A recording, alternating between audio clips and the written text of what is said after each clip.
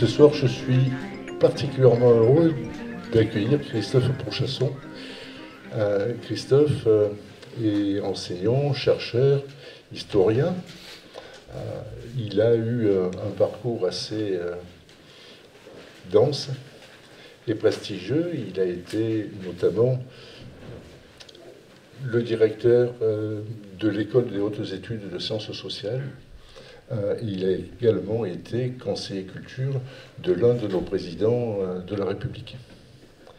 Et ce soir, il va nous parler du socialisme et le titre de sa conférence, c'est le, socialisme est-ce une utopie?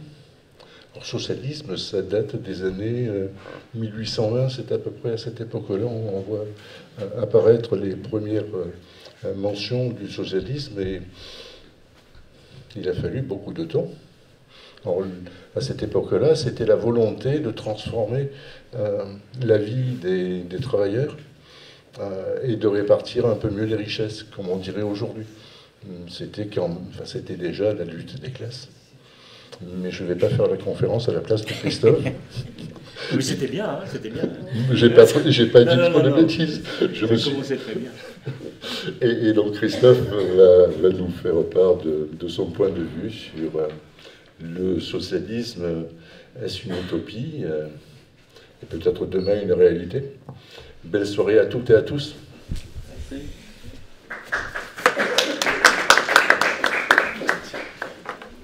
Bonsoir à toutes et tous. Euh, à, moi à mon tour de dire à quel point je suis enchanté d'être présent ici à Marseille devant vous euh, d'apporter ma petite pierre à une réflexion qui est déjà engagée, euh, je crois, depuis le début de l'année, autour de cette notion d'utopie, et euh, d'y entrer par un biais qui est relatif à, j'allais dire, à mes obsessions d'historien, en tout cas à mes travaux, à, mes travaux d'historien, puisque, entre autres choses, je travaille sur la longue histoire du, socialisme, de cette idée socialiste, comme on disait, à la fin du, du 19e siècle. Alors, euh, j'ai donné un titre, j'ai proposé un titre, euh, Le socialisme est-il une utopie? Euh, avec une interrogation qui ne relève pas seulement de cette mise en appétit un peu roublarde que font toujours les conférenciers pour attirer l'attention des, euh, des auditeurs, non? Euh, je voulais, euh, au fond, en posant cette question, me livrer aussi à un travail avec vous, un travail préalable de définition, au fond, de quoi on parle. Hein. à la fois, qu'est-ce que l'utopie? J'imagine que vous y avez déjà réfléchi ici même. Et qu'est-ce que le socialisme hein? Ce sont deux termes qui nous paraissent peut-être, nous paraissent peut-être comme des évidences. Et, qu'ils n'ont plus, ou qu'ils n'ont pas, ou qu'ils n'ont peut-être jamais eu d'ailleurs.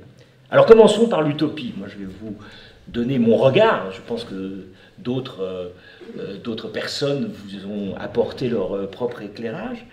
Je vais donc vous donner mon regard d'historien sur, sur ce que j'entends par utopie. Tout est discutable, hein, bien sûr, mais nous aurons l'occasion de, de le faire. Bon, D'abord, il faut le dire, euh, l'utopie a connu plusieurs formes. Elle a d'abord été, il faut insister, un genre littéraire.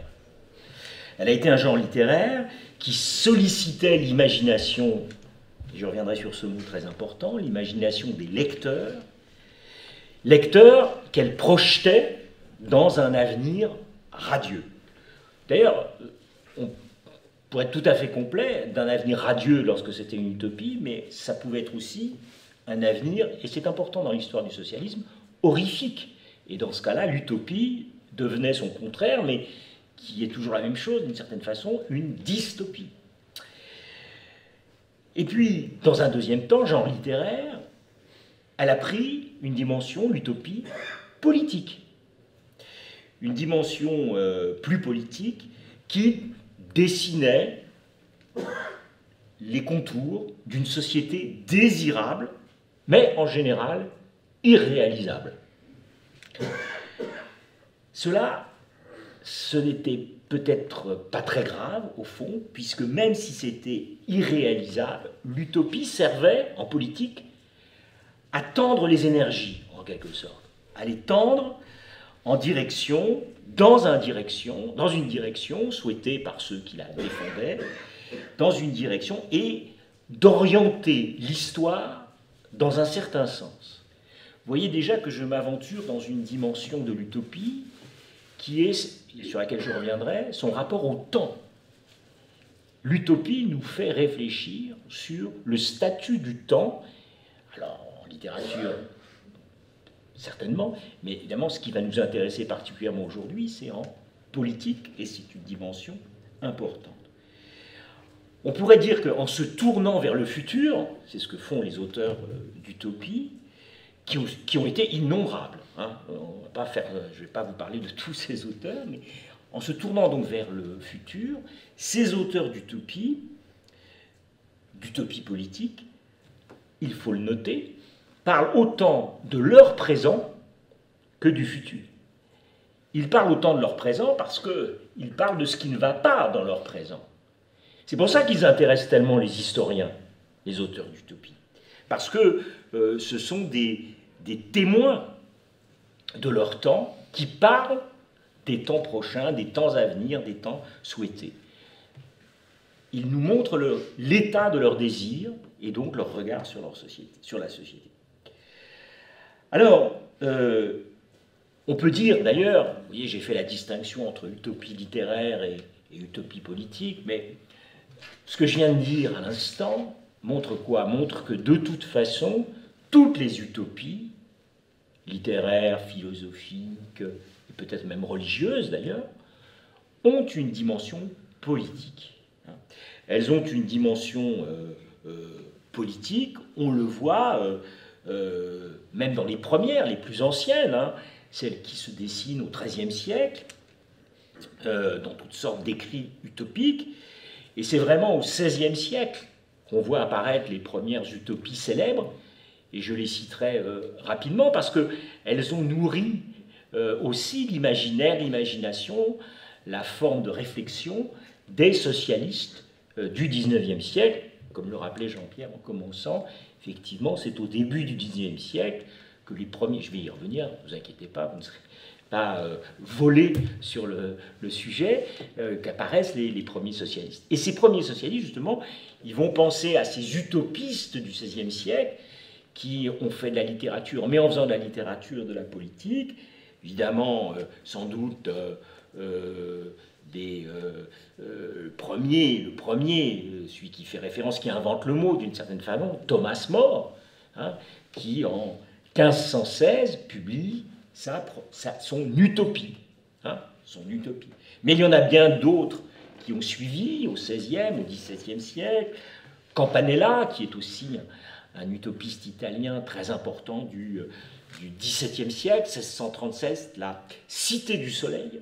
Hein, euh, Thomas Munzer, et puis au XVIIIe, des euh, prêtres, des curés, hein, euh, qui aussi se livrent à ce genre, ce genre d'exercice. Toutes ces utopies, elles conjuguent, et c'est un peu le cœur de ce que je voudrais vous dire aujourd'hui, en cassant un peu la réputation des utopies, toutes ces utopies qui rêvent d'un monde meilleur, rêvent d'un monde meilleur, qui font une part à la littérature et à la philosophie, sont aussi, sont aussi, et ça c'est très important, des exercices savants. Euh, au fond, euh, vous voyez, j'en arrive déjà presque à ma conclusion, un peu, peu à, la hâte. Euh, il n'y a pas plus sérieux que les utopies. Euh, et euh, c'est un point que les socialistes garderont, en quelque sorte, dans leurs propres utopies, comme je voudrais essayer de vous le montrer ce soir. Alors, voilà donc un, petit, un premier balayage autour de, de, l'utopie. Livrons-nous un exercice un peu analogue pour ce qui concerne le socialisme. Alors, qu'est-ce que c'est que le socialisme? Oh On pourrait y passer euh, des heures et des heures. Et je dis souvent d'ailleurs à mes étudiants, c'est une chose qui me, qui me frappe, les étudiants, comme vous le savez, c'est le problème des enseignants, c'est qu'ils vieillissent et que les étudiants ont toujours le même âge. ce, qui, ce, qui, rend cette, profession infernale. Bon. Et on oublie très souvent que les évidences des étudiants il y a 20 ans ne sont plus celles d'aujourd'hui. Et parmi ces évidences, il y a 20 ans, les étudiants savaient ce que c'était que le socialisme. Ils le savaient peut-être avec des erreurs, ça renvoyait à quelque chose. Aujourd'hui, ça ne renvoie à rien, souvent, pour des tas de raisons dont on aura peut-être l'occasion de discuter tout à l'heure. Euh, mais il est donc important de revenir sur ce qu'on peut entendre par, euh, euh, par socialisme. Même nous, peut-être, ça a peut-être même pour nous cessé d'être une évidence. Soyons simples. Donc, le socialisme, c'est une doctrine politique, comme on le disait en commençant tout à l'heure, qui, en effet surgit dans le sillage de la Révolution française, mais, donc c'est un élément politique, mais ce qui va aussi avec, et qui est au moins aussi important, une doctrine politique qui vient en quelque sorte accompagner les profondes mutations économiques et sociales qui caractérisent le XIXe siècle. Pour le dire d'un mot euh, qui englobe un peu tout, l'industrialisation. Sans industrialisation, même s'il y avait des utopies euh, de gens qui rêvaient de mondes meilleurs, sans industrialisation, le socialisme n'aurait pas été le socialisme tel que nous le connaissions. Alors, ça n'empêche qu'il a connu de très nombreuses versions et que, euh, au fond, euh, s'il finit par s'imposer, comme ce que je disais tout à l'heure, une quasi-évidence, hein, c'est-à-dire au fond comme une organisation sociale et économique fondée sur un régime de propriété collective. C'est ça le socialisme. Hein. C'est au fond la propriété collective. On disait même des moyens de production lorsqu'on voulait être savant. Mais c'est une autre représentation de la propriété. Euh, eh bien, euh, il est vrai qu'aujourd'hui, euh, cette représentation du socialisme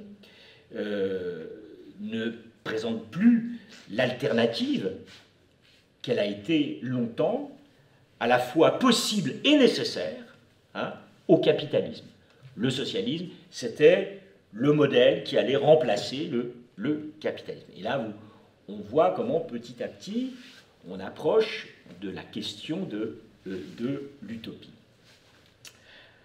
Au sein même du socialisme, au sein même du socialisme, ça c'est un point tout à fait fondamental de ce que je voudrais aussi vous dire ce soir, au sein même du socialisme, on s'est longtemps opposé sur la nature de la doctrine. Hein? Les socialistes eux-mêmes ne sont pas d'accord. Alors, ils ne sont pas d'accord parce que certains veulent ceci, d'autres cela, euh, euh, parce que certains pensent qu'il faut faire une révolution, d'autres disent oh là là, mollo, euh, on, peut faire la révolution, mais doucement. Euh, comme disait le Jaurès, il suffira d'un coup d'épaule, le moment venu. Hein bon, ok. Mais c'est pas seulement ça. Euh, il s'oppose entre, euh, notamment dans la deuxième moitié du XIXe siècle, entre des gens qui disent il y a deux socialismes, il y a un socialisme utopique d'un côté, et de l'autre côté, il y a un socialisme scientifique. Il faut bien dire que euh, cette invention-là, cette répartition-là, elle est due à quelqu'un qui a beaucoup compté, ou à deux hommes qui ont beaucoup compté dans l'histoire du socialisme, qui ne sont autres que Marx et Engels.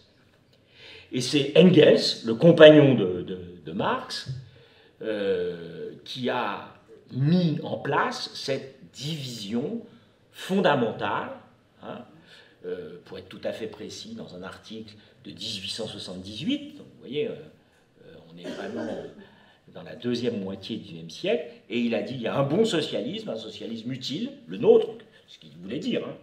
c'est-à-dire celui de, de, de, il l'appelait pas Karl d'ailleurs, mais de Karl Marx et de moi, c'est le socialisme sérieux, le socialisme scientifique, j'y reviendrai dans un instant, et puis il y a, un autre socialisme, un socialisme euh, euh, qui résulte de cogitations sympathiques, mais euh, tout à la fois désordonnées et naïves, d'intellectuels du premier 19e siècle, qui sont tout à fait estimables, mais euh, qui étaient conscients des désordres de la société, qui étaient conscients des maux de l'industrialisation, mais au fond qui ne comprenaient pas grand-chose et qui n'avaient pas les outils intellectuels, les outils scientifiques pour analyser la situation.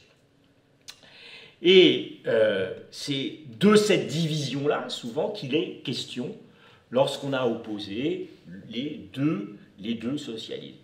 Et d'ailleurs, euh, parfois, les adversaires du socialisme se sont servis de cette euh, division-là pour considérer que le socialisme était souvent soit une utopie, donc un rêve gentillet, tout à fait, tout à fait sympathique, mais irréalisable, ou au pire, et ça évidemment, mais même avant euh, l'expérience soviétique, euh, même avant cela, euh, de considérer que le socialisme allait conduire à la dystopie. Hein. Et, cela, c'est souvent un, registre d'arguments propres aux adversaires du socialisme. Alors, cela dit, qu'est-ce que vaut cette distinction? Qu'est-ce que vaut cette distinction? Est-ce que est-ce que euh, Engels, dans ce fameux article, donc socialisme utopique versus socialisme scientifique, est-ce qu'il avait raison? On ne va pas rentrer dans ce débat, ça nous emmènerait. Il y a des, kilomètres de rayons de bibliothèque euh, qui, euh, ce, débat, mais on pourrait tout de même être un petit peu taquin hein, quand on est historien et considérer que peut-être que cette séparation est trop nette et que, c'est un peu ce que je voudrais vous montrer ce soir, que j'ai commencé à faire, qu'il y a de la science dans le socialisme utopique, l'esprit scientifique dans le socialisme utopique, et puis qu'il y a de l'utopie dans le prétendu socialisme scientifique. C'est d'ailleurs euh, euh, ce que dit, euh, ce que disent plusieurs euh, socialistes. Je vais en prendre un. Oh, il est peu connu. Il est peu connu. Mais il est l'auteur d'un article très intéressant. Euh, c'est un philosophe de formation, c'est intéressant à noter, c'est un ingénieur polytechnicien qui s'appelle Georges Sorel, qui écrit à la fin du XIXe siècle. Il publie un article qui s'intitule tout simplement Y a-t-il de l'utopie dans le marxisme? Alors croyez-moi, à la fin du XIXe siècle, écrire un truc comme ça, quand euh, on est socialiste, quand le marxisme s'est imposé comme une doctrine de référence, c'était presque une provocation. Et sa conclusion est oui, il y a de l'utopie dans le marxisme, moins peut-être dans l'œuvre de Marx lui-même, encore que Marx parfois va un peu vite, dit Sorel, mais que dans ceux qui se disent marxistes et qui ont euh, euh, trahi d'une certaine façon l'esprit scientifique que voulait Marx. Hein. Il reprochait notamment à ceux qui, qui, se revendiquaient, les marxistes, en France, mais en Allemagne aussi, et puis partout, à vrai dire, en Europe, et un peu d'ailleurs au-delà, que ceux qui s'affichaient fidèles du socialisme scientifique, quel grand mot, quel grand mot, hein, euh, en fait, il leur disait, vous, euh, vous, disposez d'une drôle de conception de la science. Votre science n'est pas vraiment scientifique. Et il, a une formule très jolie, il dit, au fond, avec ce grand mot de scientifique, vous ne faites que dissimuler votre poésie sociale. Hein. et vous n'êtes pas véritablement des scientifiques. Alors, et je voudrais vous montrer dans ma petite démonstration donc que ces gens-là, euh, bon, sont utopiques, mais euh, aussi autre chose. Je vais juste, euh, d'ailleurs, dire que même chez ces gens-là, dont je vais vous parler là, le mot utopie est un mot qui n'est pas positif. Vous aurez compris que chez Marx et Engels, même s'ils considèrent que leurs prédécesseurs utopiques étaient des braves gens sympathiques et intéressants, que c'était quand même pas, euh, c'était quand même pas ça, quoi. Hein.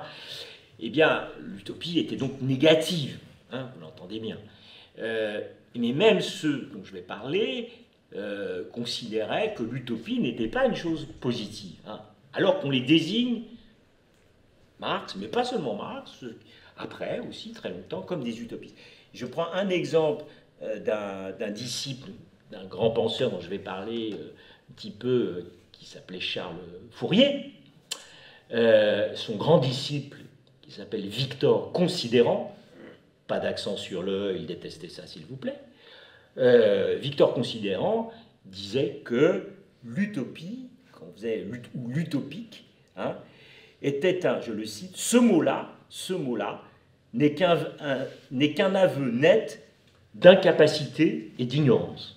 Un aveu net, l'utopie, un aveu net d'incapacité et d'ignorance. Donc on ne peut pas dire que ces gens se reconnaissent bien dans la classification euh, euh, ultérieure de Marx Engels.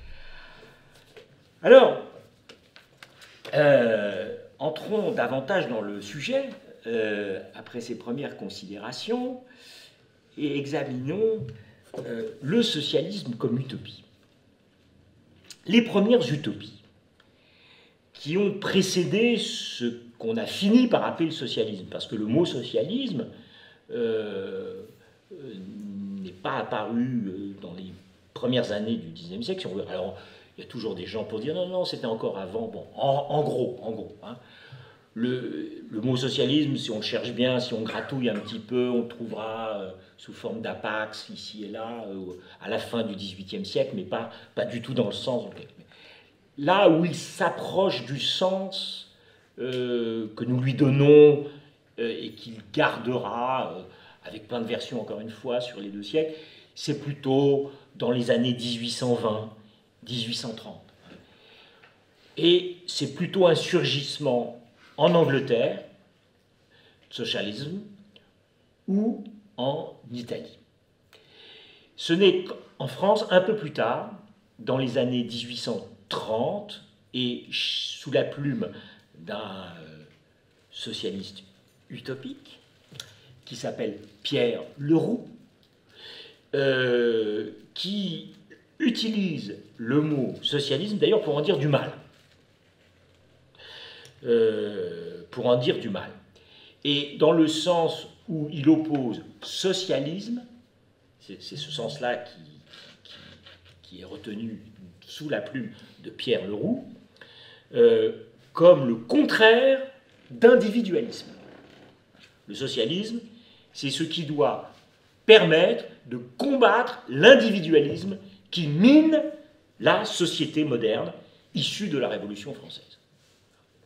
C'est ça l'obsession de ces premiers socialistes qui ne se disent pas socialistes, hein, mais qui construisent des utopies, enfin ceux plus tard qui diront que, euh, et leur obsession, c'est de dire, bon, la révolution, qu'ils n'aiment pas d'ailleurs la plupart du temps, intéressant à noter, la révolution française a tout cassé, elle n'est pas allée jusqu'au bout du travail, résultat, euh, nos sociétés modernes sont éparpillées, fragmentées et euh, livrées euh, aux intérêts individuels dans le plus grand désordre. Donc il faut, et là l'utopie arrive, il faut reconstruire. Euh, il faut euh, rebâtir. Alors, ces premières utopies, qui ont donné donc lieu à des, lectures rétrospectives, hein, apparaissent donc avant donc, que le mot socialisme euh, surgisse. Euh, donc, euh, dès, vous allez le voir, les années 1810, 1820.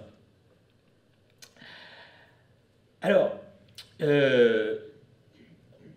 il faut rappeler une chose, c'est que aussi, il s'agit de, proposer certes des transformations euh, économiques, sociales, institutionnelles, qui permettront de remédier aux maux de la société, mais il y a dans les utopies aussi, et cela depuis longtemps, un volet moral.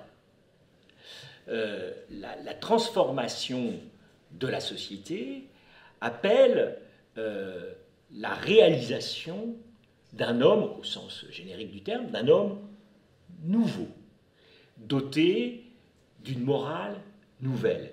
Et c'est ça, d'ailleurs, je le dis au, passage, pour alimenter votre réflexion dans la continuité sans doute de conférences, euh, que la, les utopies politiques ont parfois fait peur en ce qu'elles voulaient imposer un homme nouveau avec des valeurs morales. Et ça, même, euh, euh, on le voyait dans l'utopie de Thomas More, dont je parlais, déjà, hein, déjà, on rigole pas dans les utopies. Hein. Euh, sont des sociétés euh, euh, où il faut se tenir à carreau, hein, à cause justement de cette volonté d'imposition d'une morale particulière. par exemple, dans, dans, son utopie, Mort, tenez-vous bien, dit aucun moyen ne subsiste, il s'adresse son interlocuteur, c'est un dialogue. Aucun moyen de subsiste, de subsiste, vous le voyez, de se dérober au travail. Donc vous êtes obligé de travailler. Hein. Euh, donc vous voyez, c'est le régime de l'obligation hein, qui, qui s'impose. Euh, de se dérober au travail. Aucun prétexte pour rester oisif. Pas de cabaret. Pas de taverne. Pas de mauvais endroit euh, de rendez-vous. Vous voyez ce que je veux dire C'est moi qui rajoute ça. Hein toujours exposé aux yeux de tous, ça c'est ce que Michel Foucault aurait appelé le panoptique, hein, ou Bentham avant lui, toujours exposé aux yeux de tous, chacun est obligé de pratiquer son métier et de s'adonner à un loisir irréprochable. Alors, deux siècles plus tard, ou deux siècles et demi plus tard, euh, euh, les choses ont un peu changé. Mais euh, vous allez le voir, les utopies euh, euh, socialistes ont gardé l'idée qu'il faut produire malgré tout un, homme nouveau au travers de morales nouvelles. il faut bien dire que, en général, ces morales sont plus réjouissantes, chacun aura son jugement, en tout cas moins terrifiantes à nos oreilles modernes, que celle de Thomas More, qui met tout le monde au boulot et, interdit toute fantaisie. Euh, en matière de morale, on peut même dire que plusieurs utopies socialistes du XIXe siècle euh, sont beaucoup plus libérales sur la question des, des mœurs.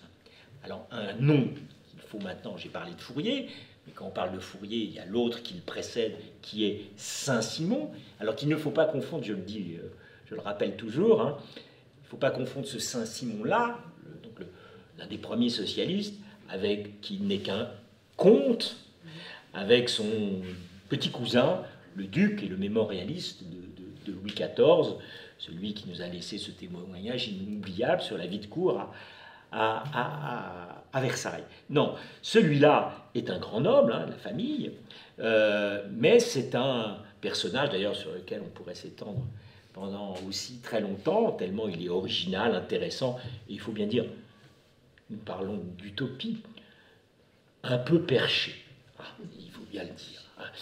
Euh, mais euh, c'est intéressant, euh, donc c'est dans sur la question des mœurs, Saint-Simon, et plus encore d'ailleurs celui qui a été d'abord son disciple avant d'être son rival, Fourier, ont en matière de mœurs des perspectives beaucoup plus libérale.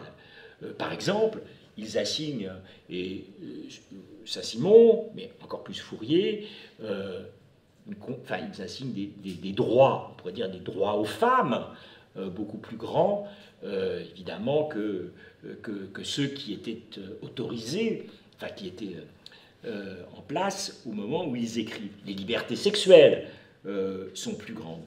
Et j'observe d'ailleurs que beaucoup plus tard, hein, euh, au début du XXe siècle, un socialiste que vous connaissez tous et toutes, euh, qui euh, n'est pas connu pour être un auteur utopique, et pourtant qui est l'auteur d'une certaine façon d'une utopie, Léon Blum, qui publie en 1907 un texte très intéressant, qui est à mes, à mes yeux une utopie, sur le mariage. Euh, un livre qui s'appelle Du mariage. Et dans ce livre aussi, Léon Blum a fait un, véritable scandale.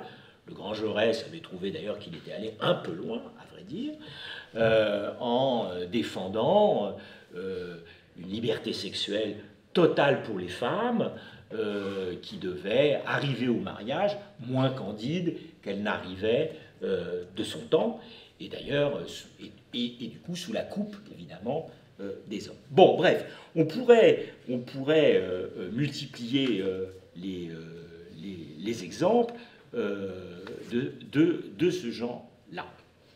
Alors, euh, il y a un autre niveau, euh, euh, un autre niveau de, l'utopie sur lequel je voudrais attirer votre attention.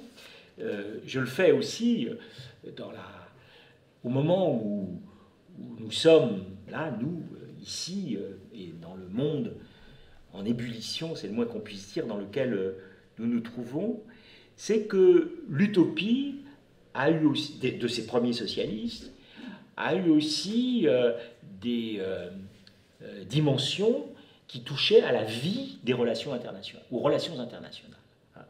Ça, c'est une chose très intéressante que je, que je dis un peu en passant, mais on le voit dans, dans écrits innombrables, abondants, qui, qui se euh, on voit d'ailleurs, c'est une chose à, noter, comment le, socialisme est lié à l'émergence de la presse. Hein, euh, de, de, la, euh, des, techniques de modernisation qui permettent de, faire plus vite et plus nombreuses des journaux, des, petits, des petits volumes, des petits livres. Ah, c'est le triomphe de, l'imprimé qui permet aussi à tous ces gens de, s'exprimer. Hein.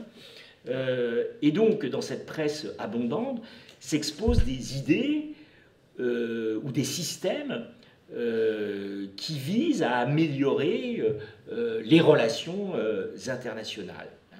Et il y a deux exemples que, que je voulais vous, citer, qui me paraissent intéressants. C'est du côté de Saint-Simon lui-même une utopie de l'Europe, une utopie européenne, euh, qui est fondée sur l'idée de la fusion entre l'Angleterre et la France. Que l'Angleterre et la France doivent, doivent, former un seul pays auquel on, ralliera ultérieurement les pays allemands, euh, mais euh, c'est ça. Et cette Europe qui se constituerait, qui se constituerait sur cette union entre deux nations rivales, rappelez, euh, au moment où il écrit, permettront de construire une Europe qui alliera, alors là c'est ça la, la dimension proprement utopique, à la fois l'attachement aux nations et le fédéralisme. Alors ça c'est la quadrature du cercle. Hein. Comment on peut être à la fois profondément euh, européen fédéraliste hein, et en même temps, et en même temps profondément attaché à la nation. Alors, euh, Saint-Simon fait tout un système, je ne vais pas vous le décrire en détail, institutionnel, avec des, euh, des rôles bien précis, euh, des conseils, toutes sortes de choses. Et puis le, deuxième, le deuxième exemple, et je le dis ici à Marseille, c'est un disciple de Saint-Simon qui s'appelle Michel Chevalier, et lui propose un système de la Méditerranée. Euh, qui est un dispositif politique qui vise à mieux intégrer l'Orient à l'Occident. Et là aussi, euh, euh, c'est un texte qui a eu beaucoup de résonance d'ailleurs après. C'est pour ça ces, ces utopies, on pourrait dire ce sont des rêves et puis bon, on passe à autre chose. Non, pas du tout. ce sont des textes qui ont circulé, qui ont eu le statut véritablement de référence dans la longue histoire du, euh, euh, euh, socialisme. Alors, je voudrais maintenant changer un peu d'époque. Donc là, je me suis concentré sur, cette, sur ce premier temps dans l'histoire du, socialisme, temps de naissance. D'ailleurs, c'est vrai que quand on fréquente, j'allais dire comme je le fais, euh, bah, je suis âgé, mais je ne les ai pas connus quand même, je vous rassure euh, tout de suite, euh, c'est ces gens, on est assez émerveillé par ce qui agaçait tant Marx et Engels, cette espèce de candeur, de, de, croyance en ce que tout est possible, hein, euh, qu'on peut tout, tout faire, tout imaginer. Et d'ailleurs, Saint-Simon, euh, je reviens à lui, il est amusant parce que il, il, écrivait à Bonaparte. Il disait voilà, j'ai trouvé la solution au problème. Hop, il envoyait une lettre, alors évidemment, à la poubelle, hein, il n'avait jamais de réponse, hein. euh, mais ils étaient absolument convaincus qu'il suffisait d'appliquer ces idées pour que tout fonctionne. C'est merveilleux quand même. Hein. Euh, alors je sais que vous savez qu'on peut écrire au président de la République, euh, c'est gratuit, en plus il n'y a pas besoin de mettre un, un timbre. Fait penser que je vous renvoie au merveilleux petit texte d'Hervé Letellier qui s'appelle Moi et François Mitterrand, vraiment qu'il faut lire, c'est très très drôle, où Hervé Letellier raconte c'est un exercice littéraire, l'histoire d'un monsieur qui, écrit systématiquement au président de la République successif et qui reçoit évidemment la, même réponse stéréotypée à laquelle il répond finalement. Enfin, je ne vais pas parler de ce livre euh, qui est une merveille, mais bon, euh, Saint-Simon, lui, faisait ça avec, euh, avec les princes successifs. D'ailleurs, une chose importante, c'est que le rapport à la politique, vous le voyez, est, fait au fond d'une grande indifférence. Ils se contrefichent de savoir qui gouverne. Ce n'est pas leur problème, puisque la solution, elle est dans leur modèle à eux, elle est dans leur utopie à eux, et elle peut être appliquée par n'importe qui, que ce soit un empereur, que ce soit un roi, que ce soit une démocratie, ça n'a aucune importance de toute façon. Les utopies, d'une certaine façon, chez ces gens-là, sont apolitiques, euh, au sens en tout cas où nous entendons ce, ce mot-là, nous, euh, euh, au sens, au temps où, nous sommes. Alors maintenant, je voudrais, donc ce premier temps du, socialisme, passer à un second temps où, deuxième moitié du siècle, où le socialisme, un peu partout en Europe, mais en France en particulier, s'est davantage institutionnalisé, commence à s'organiser autour de partis, et puis, malgré tout, la République en France euh, ou des démocraties dans d'autres pays d'Europe s'installent. Et du coup, le, socialisme euh, prend une autre dimension. Hein. Euh, ce n'est plus un système simplement d'organisation de, rêvée. Eh bien, cependant, cependant à ce moment-là, il y a encore des utopies et euh, pour dire que le, socialisme qui devient plus scientifique, si vous voulez, dans la deuxième moitié du siècle, conserve euh, aussi cette tradition de l'utopie. Euh, donc, ce serait un tort de penser qu'à ce moment-là, le socialisme a rompu avec l'utopie pour rallier la science. Hein. L'un des grands penseurs même, je, vais revenir sur la fin, la deuxième moitié du siècle, mais même l'un des grands penseurs de l'entre-deux-guerres, un socialiste belge, euh, qui est très intéressant euh, du point de vue qui nous occupe ici, qui s'appelle Henri de Mans, M-A-N, comme man, Henri de Mans. Eh bien, euh, donc dans l'entre-deux-guerres, il publie un, ouvrage qui a eu beaucoup, beaucoup de succès. Excusez-moi, j'ai oublié la date précise que c'est dans la fin des années 20, euh, qui s'appelle, enfin qui est une traduction d'un ouvrage allemand, mais traduit en français par le titre Au-delà du marxisme. Et au-delà du marxisme, d'ailleurs le titre allemand c'est Zur Psychologie der Marxismus, c'est-à-dire de la psychologie du marxisme. En fait, le propos du livre, euh, c'est euh, au fond de dire ne tuez pas le rêve. Nous, sommes des socialistes modernes, nous sommes des socialistes euh, qui avons cessé d'être naïfs, scientifiques donc, d'une certaine façon, mais ne tuons pas le rêve, c'est-à-dire ne tuons pas l'utopie.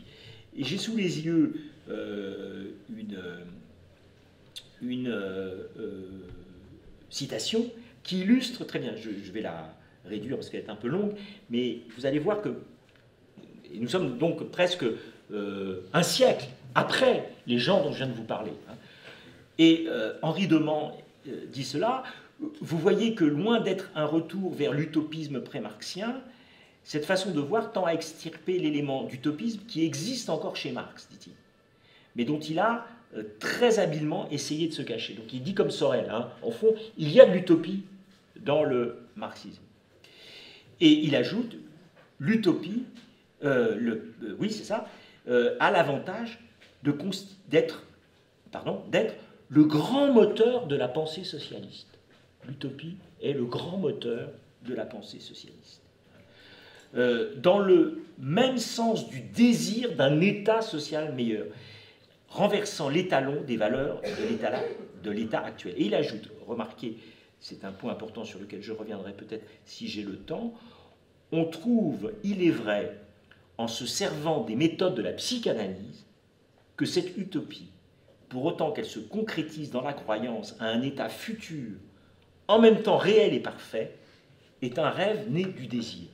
Donc, on a là, vous le voyez, un socialiste qui dit avec les découvertes de la psychanalyse qui sont récentes, hein, euh, au moment où il écrit, dans les années 20, eh bien, prenons acte de ces acquis, euh, prenons acte politiquement de ces acquis de la psychanalyse, euh, prenons acte de l'existence du désir dans l'humanité et utilisons-le pour réactiver, en quelque sorte, cette vieille utopie Marx a fichue à la poubelle euh, au profit d'un socialisme scientifique. Bon. Mais je voulais vous évoquer un autre cas parce que euh, il est d'une certaine façon plus inattendu, et puis parce que, pour ne rien vous cacher, j'ai un petit faible pour cet auteur, euh, qui est une, qui n'est pas forcément toujours connu pour son socialisme, ni pour son utopie d'ailleurs non plus, et qui pourtant a été, à mon avis, une grande figure du socialisme utopique de la fin du XIXe siècle. Il s'agit du poète Charles Péguy. Alors, Charles Péguy, on le connaît, euh, on le connaît euh, euh, beaucoup pour le grand rôle qu'il a eu au moment de l'affaire Dreyfus. Ça a été un des premiers Dreyfusards, grande figure de ce, de ce combat contre l'antisémitisme. On le connaît aussi euh, pour euh, être, euh, dire, le principal auteur d'une revue du début du XXe siècle, les Cahiers de la quinzaine, dans lequel il a écrit des, choses merveilleuses et que je vous invite à lire. Mais il est aussi l'auteur d'une pure utopie qu'il publie ben, justement en pleine affaire Dreyfus en 1898 et qui s'intitule Marcel. Marcel, c'est le nom d'ailleurs, pour la petite histoire, de son, euh, de son ami et beau-frère, Marcel Baudouin. Alors, euh, cette utopie, qui s'intitule donc Marcel, mais qui a comme sous-titre Premier dialogue de la cité harmonieuse. Premier dialogue de la cité harmonieuse.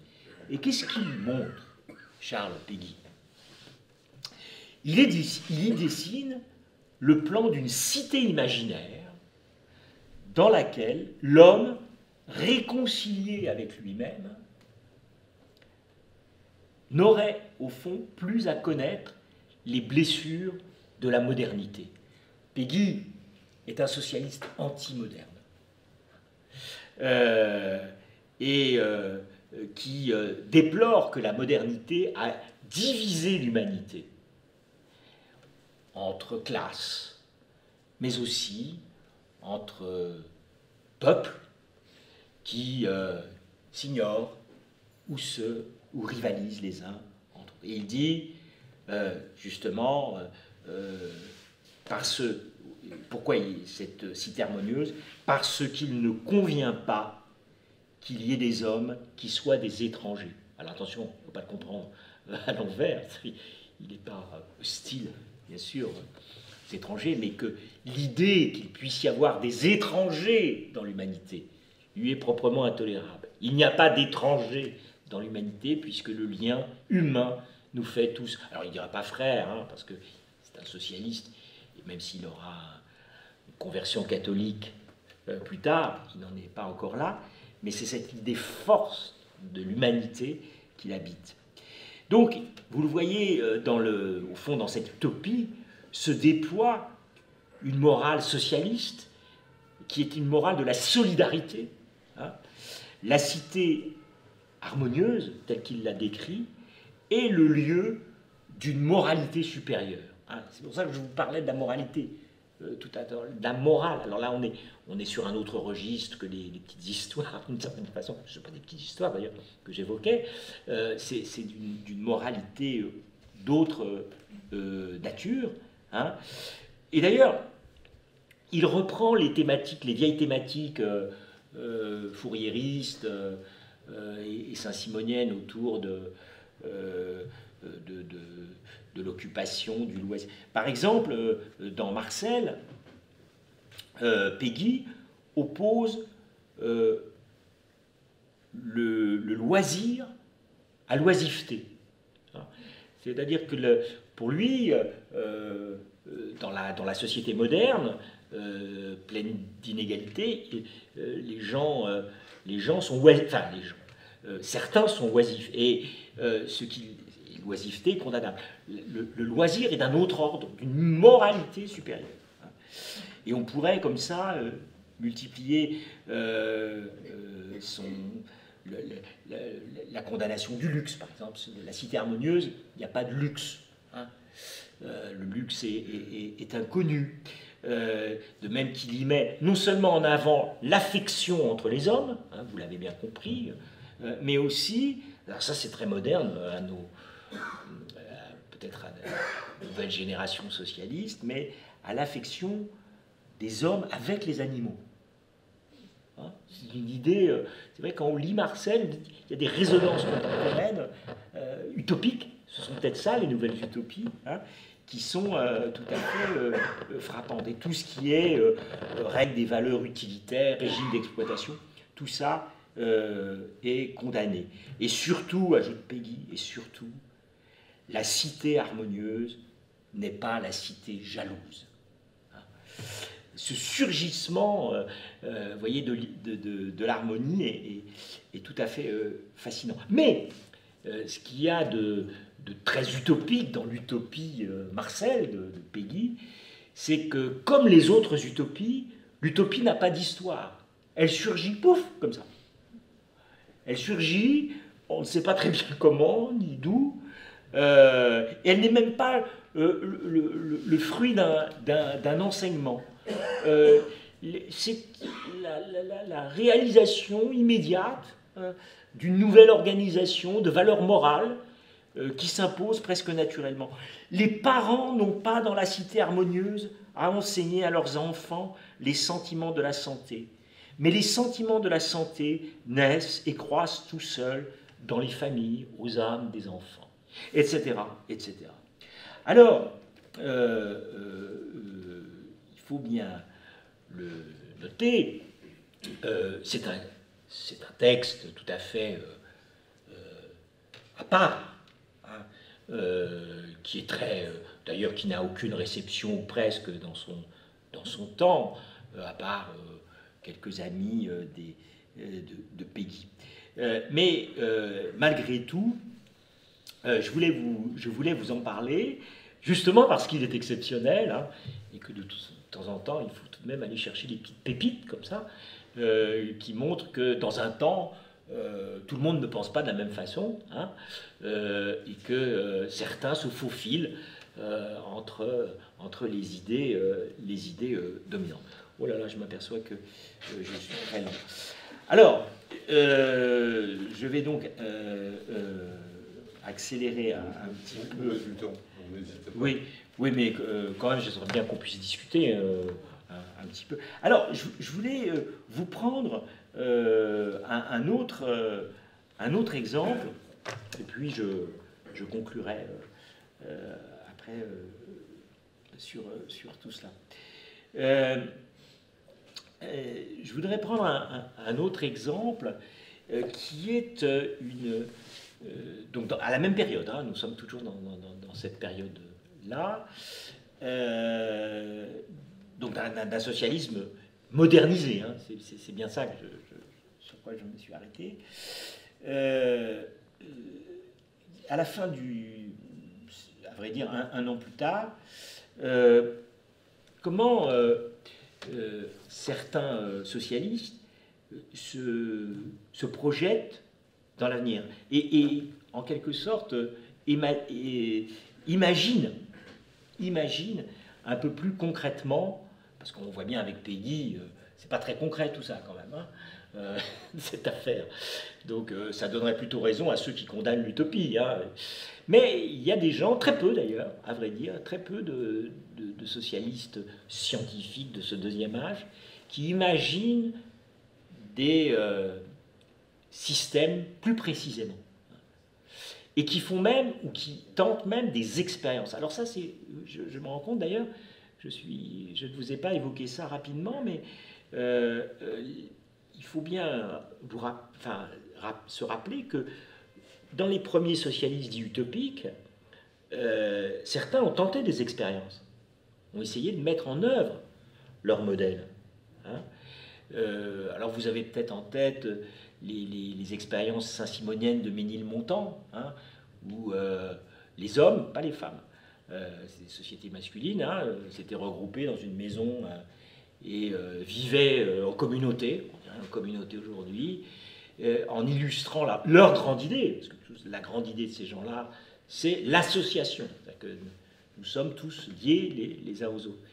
Et donc, pour illustrer ça, ils avaient envisagé euh, une expérience qui était le vêtement hein, qui se fermait euh, par le, dans le dos. Donc chacun était obligé de, de fermer la blouse du camarade et ainsi de suite. Bien. alors ça faisait rire tout le monde. D'ailleurs, on allait, on allait à Mini-de-Montant comme on allait aux zoo. Hein. Les gens allaient regarder les Saint-Simoniens faire leur cirque là. Mais bon, ça c'est très connu. Mais il y a eu d'autres expériences euh, en Angleterre, par exemple, euh, autour de, l'utopiste euh, Robert Owen, qui organise des, sociétés, des petites sociétés, des usines, les, les fameux poils Godin. Hein, étaient fabriqués dans un familistère, c'est-à-dire une communauté utopique qui mettait en œuvre des idées de, Fourier. Aux États-Unis, au Texas, des communautés utopiques euh, se sont instituées aussi euh, sur la base de tout ça. Bon, il faut bien dire qu'à chaque fois, c'est là où science, patience, que toutes ces utopies n'ont jamais duré et ont toutes conduit à des échecs. Alors évidemment, tous les antisocialistes, euh, ils étaient contents, vous voyez, ça marche pas votre truc là. Ça, Bref, cette, j'ai fait ce petit retour en arrière pour vous dire que, évidemment, les socialistes de la deuxième moitié du 19e siècle, eux, ils vont pas faire la même chose. Hein. Ils vont pas, euh, encore qu'il y en a un qui, vous allez voir, est à la limite, ils vont pas se, se livrer à ce type d'expérience, sachant que, au fond, ça ne marche jamais parce que c'est la société entière qui doit changer pour que euh, on puisse euh, accomplir euh, les projets portés par le socialisme. Alors, il y a tout de même un cas, c'est un, des rares cas euh, de, parmi ces socialistes où euh, se dessine un, un, projet plus précis. c'est un socialiste pas très connu qui s'inscrit pourtant dans le, dans le sillage de ce qu'on appelle le guédisme à la fin du XIe siècle, c'est-à-dire en gros les disciples marxistes français, hein, les disciples de Jules Gued. Et euh, parmi ceux-là, donc, il y a un, camarade qui s'appelle Lucien Deslignères et qui publie en 1899 un ouvrage, c'est clair, l'application du système collectiviste. L'application du système collectiviste. Euh, je dois dire d'ailleurs qu'à peu près dans les mêmes années, un autre socialiste beaucoup plus connu a un peu tenté la même expérience. Un peu tenté la même expérience. Ce n'est autre que Jean Jaurès lui-même, qui, dans une revue, la revue socialiste, a publié des articles sur l'organisation socialiste, où il envisage de façon un peu plus concrète les les, choses de ce qui serait un régime socialiste. Et si je cite Jaurès, c'est non seulement parce qu'il est l'auteur de cette organisation socialiste, mais il s'agit de, se confronter au réel en quelque sorte, et pas simplement de, faire état soit de son indignation, soit des grandes idées qu'il défend, mais de se confronter au réel, est aussi le préfacier du livre de Delinière. De alors ça c'est intéressant parce que dans sa préface, euh, que Jaurès donc accorde à l'application du système collectiviste, Jaurès souligne l'originalité de la démarche de Deslignières, dont le livre, note-t-il, vient rompre avec une tradition dominante chez les socialistes de ne pas verser dans l'utopisme, qui est, donc vous voyez, Jaurès intéressant, il dit, au fond, au moment où nous sommes, il n'y a que la science. Le, socialisme ne se légitime que par la science. Hein. Il faut retrouver, dit Jaurès, pourtant, euh, un peu d'utopie. Et évidemment, il l'a fait quelques années avant lui-même. Et, c'est ce qu'il aime, c'est ce qu'il aime dans le livre, euh, euh, de Deslignières, qui ne s'interdit pas, je cite, la description précise de la société future. Alors, cela dit, euh, je, voudrais le citer aussi, je, Jaurès convient lui-même, je, convient lui-même, je, le cite, la vie sociale est trop, est trop complexe aujourd'hui et l'ordre socialiste de demain enveloppera trop de rapports pour qu'il soit possible de les prévoir, ces rapports, minutieusement. Seules les directions générales nous apparaissent, seuls les grands traits se laissent fixer. Donc vous voyez, il dit, bon, il faut le faire, mais en même temps, nos sociétés sont devenues tellement confuses, tellement, euh, oui, indiscernables et complexes, alors qu'est-ce qu'il dirait aujourd'hui, hein, euh, que, euh, au fond, c'est un exercice un peu vain que de réfléchir dans les, dans les détails. Mais, mais malgré tout, au fond, chapeau, en quelque sorte, hein, et euh, euh, il, il, en salue donc l'exercice. il le dit aussi en disant, voilà, j'essaye de retrouver la, citation que je voulais vous faire. voilà, c'est ça. Rien ne peut donner au prolétariat rien ne peut donner au prolétariat, rien ne peut donner au prolétariat accablé plus d'espérance et de ressort que cette vision nette de la réalité sociale. Donc il est, fond, le, prolétariat, c'est ce que j'avais rapidement dit en début de cette conférence, que l'utopie est source d'énergie aussi. Elle sollicite l'imagination des dominés, des vaincus, euh, elle les projette vers quelque chose qui va armer leur combat social et politique. Et c'est ce que dit au fond euh, euh, Jaurès, hein, cette vision nette, comme il dit, hein, d'un monde nouveau, qui, est, qui est fondamental. Alors, bon, c'est un gros livre, hein, le livre de Deslignières, plus de 500 pages. Et alors, il, regarde tout. Il, reste, il laisse rien dans les coins. Les questions économiques, sociales, euh, l'argent, l'industrie, l'agriculture, l'assistance, la place des femmes, les questions religieuses, l'accueil des étrangers, l'antisémitisme. Bon, euh, tout cela est traité et bien d'autres. Euh, euh, euh, c'est tout à fait impressionnant. Mais il y a un autre texte du même de Linière qui est en quelque sorte la, poursuite de cela et qui est un peu plus étonnant, en tout cas à notre, à notre regard. c'est un livre qui est aussi une utopie, mais une utopie moderne et surtout une utopie colonialiste.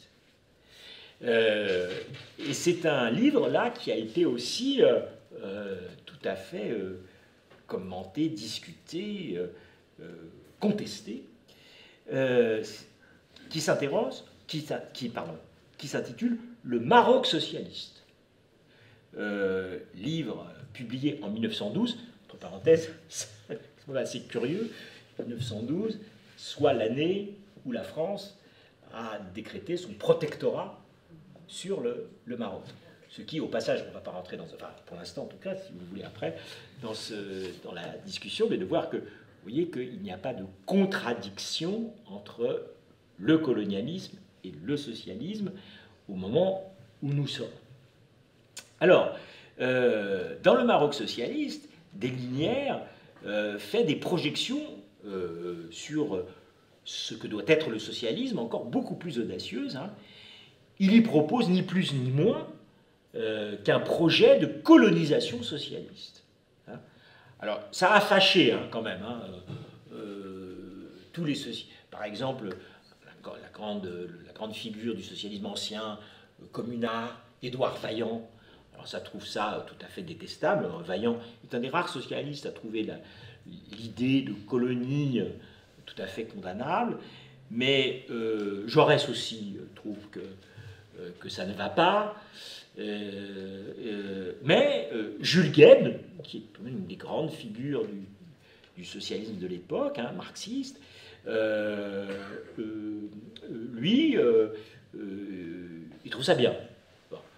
Euh, donc il ne faut, il, faut pas d'ailleurs euh, se moquer de ces jeunes. Ils sont dans un, environnement euh, politique, culturel qui n'est plus le nôtre, évidemment. Donc, d'ailleurs, c'est intéressant parce que Jaurès, s'il condamne le livre de Deslinéaires sur le Maroc socialiste, c'est moins sur la question de la colonisation elle-même qui le, heurte que l'idée qu'il y aura des inégalités entre les indigènes, comme on disait à l'époque, et les colons socialistes. Hein, et que ces inégalités créeront des conflits entre les, entre les deux. C'est ça qui. Et comme Jaurès et, et comme tous les socialistes, euh, celui qui essaye de réconcilier les hommes, en quelque sorte, hein, euh, il y voit une faiblesse.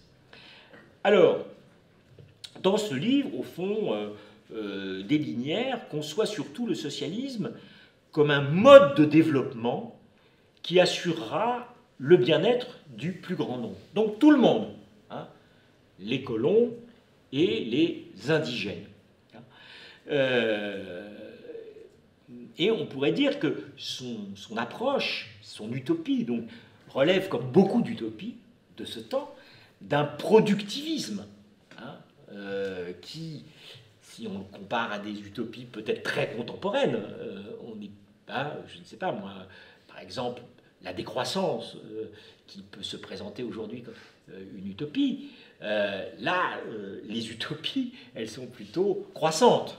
Hein, et que les mondes nouveaux qui sont rêvés, envisagés, le sont sur, sur l'idée de, croissance. Donc, pour autant, au-delà de, de, ce productivisme, il y a aussi toute une réflexion autour des, conditions euh, juridiques hein, qui présideront à la constitution de cette euh, colonie euh, socialiste, et jusque d'ailleurs dans la prise en compte des, conflits que pourrait engendrer la rencontre entre les indigènes et les colons. Hein, il écrit En cas de troubles indigènes, vous allez voir que, bon, en cas de troubles indigènes, le directeur aura droit de requérir les troupes cantonnées sur le territoire. Bon, une utopie un peu, quand même musclée. Hein. Euh, les colons, socialistes, les colons, formeront une milice qui recevra des armes et dont les chefs seront nommés par la régie. L'existence de cette milice rendra, euh, rendra bientôt inutile toute occupation militaire. Bon, voilà. Alors, euh, je voulais vous, évoquer euh, cela comme ça en passant, parce que c'est un cas assez intéressant et surtout qui a fait, qui a fait débat. Hein. Mais j'aurais pu, et je vais finir par, ce, par cela, aussi donc vous m'attarder sur les, textes de, de Jaurès. J'en profite pour un petit peu de publicité, vous m'en pardonnerez. est sorti la semaine dernière. Euh, le dernier volume des œuvres de Jaurès euh, chez Fayard. Je vous invite vraiment à consulter. C'est une grande, grande entreprise éditoriale qui est conduite depuis 2000 sous la direction de Gilles Candard. Et le dernier volume vient de sortir la semaine dernière et il traite, et je vous assure que ça a des résonances dans notre actualité terrible d'ailleurs, des deux dernières années de la vie de Jaurès, 1912-1914. Il s'intitule Guerre à la guerre, parce que, évidemment, c'est comment Jaurès a fait face aux guerres balkaniques de 1912, qui préfigurent, il ne faut jamais utiliser ce mot quand on est historien, préfigure évidemment la grande catastrophe de 1914. C'est assez troublant. Bon, je ferme la parenthèse. Euh, pour revenir à ce que je voulais vous dire, euh, et notamment à ces, articles très intéressants donc, sur l'organisation socialiste de la... Le titre exact d'ailleurs, c'est l'organisation socialiste de l'avenir. Vous voyez, donc ne dit pas utopie. Hein, Le mot organisation est d'ailleurs très intéressant dans l'histoire du socialisme, euh, parce que, au fond, les socialistes sont des gens qui veulent organiser. Bien, selon la justice, etc., mais leur, grand mot, c'est l'organisation. Donc l'organisation socialiste. Et voilà ce que dit euh, Jaurès, euh, la vie humaine, donc vous voyez tout de suite les horizons très larges, la vie humaine sera par nous, par nous les socialistes, hein, non pas seulement plus harmonieuse, ah le mot d'harmonie, vous voyez, je disais organisation, j'aurais dû ajouter, mais ça va presque ensemble, harmonie, hein. c'est ce que dit Fourier, nous sommes dans la civilisation, dit Fournier, ça va pas la civilisation. il prend, c'est amusant d'ailleurs, parce que Fourier prend un contre-emploi le mot civilisation. La civilisation, c'est le, monde moderne, euh, avec ses conflits, ses désordres. Il faut donc arriver à un autre stade qu'il appelle l'harmonie. Et c'est ça, hein. La cité harmonieuse de Marcel aussi. Donc, euh, plus harmonieuse et équilibrée. La vie, alors je reprends parce que la force de m'interrompre moi-même, la vie humaine sera par nous non pas seulement plus harmonieuse et équilibrée, mais plus pleine, plus ardente, plus riche. C'est à cette condition seulement que le socialisme est légitime et qu'il triomphera. Vous voyez donc, c'est c'est le encore une fois, ce qui est tout à fait fascinant, c'est le volet moral euh, de, de l'utopie socialiste. Hein. C'est-à-dire que c'est pas simplement que les gens, euh, c'est pas la doctrine du ventre, comme disaient les adversaires du socialisme, l'utopie socialiste, hein, où les gens euh, mangeront mieux mangeront plus, les pauvres seront plus riches. Bon, oui, sans doute, c'est ce qu'on peut souhaiter. Mais surtout, il y a cette dimension, j'allais dire presque spirituelle. Hein. Et, d'ailleurs, il y aurait toute un autre, une autre conférence à faire sur les, prolongements religieux de l'utopie à l'intérieur du socialisme. Au fond, l'utopie est aussi un substitut au religieux. Et les socialistes, au fond, dans des sociétés qui sont en voie de laïcisation au XIXe siècle, de déchristianisation, mais de laïcisation, au fond, font espère quelque part que l'utopie remplacera ce qui a été détruit. Bon, alors, euh, je conclus euh, parce que j'aurais euh, voulu vous montrer plus en détail, mais on le fera peut-être dans la discussion, mais vous l'avez, vous l'avez sans doute perçu au travers de certaines de mes remarques, que dans l'utopie, il y a aussi beaucoup de science. Hein. Et euh, euh, c'est d'ailleurs assez bien résumé cette tension du socialisme entre science et utopie. Hein. Euh, dans, une, dans une formule du grand sociologue français contemporain de Jaurès, Émile Durkheim, Durkheim qui disait que le socialisme était tout à la fois, ou aurait dû être tout à la fois, enfin, était tout à la fois ce qu'il appelait un cri de douleur, hein, et une sociologie. Voilà. C'est-à-dire que le, socialisme, c'est, devrait être une sociologie, en tout cas. Bon, donc c'est cette tension que j'espère que vous avez euh, perçue. Mais au terme de cette euh, rapide rétrospective, évidemment, euh, il convient peut-être, et ça ouvrira nos débats, de, réfléchir à situer en quoi cette rétrospective peut aujourd'hui euh, nous aider à redéfinir un socialisme pour notre temps. Nous ou d'autres. Euh, en tout cas, euh, il semble bien que le socialisme aujourd'hui soit entré dans une crise de longue durée et qui le prive d'identité, on ne sait pas très bien ce qu'il est, et donc de visibilité. On ne sait pas ce qu'il est, où il est. Alors, il y a un diagnostic qui est largement partagé et qui euh, insiste, je crois à raison, sur l'émancipation de la communication et de l'économie. Au fond, le politique ne serait plus que gouverné par ces deux instances, la communication et les lois de l'économie. Les lois de la communication et les lois de l'économie. Euh, que le politique serait soumis à cela, soumis à cet ordre-là. Et je crois que, évidemment, dans ces conditions-là, la communication et l'économie, bah, il n'y a plus beaucoup de place pour l'utopie. Hein. Euh, dans ces conditions-là, elle a perdu un peu droit de citer. Euh, l'économie, c'est le contraire de l'économie moderne, c'est le contraire de l'utopie. Ce sont des gens qui disent euh, c'est possible, c'est pas possible. et puis la communication, vous dites ça passe ou ça passe pas. Vous imaginez Charles Péguy sur un tweet, vous, alors qui fait des tartines comme ça dans les cahiers de la quinzaine, pas facile. Euh, Saint-Simon un peu perché, comme je disais, euh, euh, je crois que ça serait difficile à suivre aussi. Bon, donc il y a, je ne parle même pas des chaînes d'information continue. On le couperait au bout de la troisième phrase. donc, on peut dire que les coordonnées qui sont les nôtres, les coordonnées politiques qui sont les nôtres, je crois, ne ménagent aucune place à l'utopie, la discrédite même au profit d'un discours réaliste. Réaliste en fonction des règles de l'économie, réaliste en fonction des règles de la communication. Et donc, l'imagination politique, qui est le, soubassement de l'utopie, chez les socialistes, hein, j'y ai insisté, euh, bah, cette imagination, elle s'est asséchée. Et euh, peut-être que comme Marx, euh, et même plus que lui, nous considérons les utopistes du XIXe siècle sous le jour euh, de, doux rêveurs, euh, d'auteurs euh, d'aimables et, amusantes fantaisies, hein, très amusantes à, lire, alors même que je pense que nous avons tort de les prendre uniquement comme ça.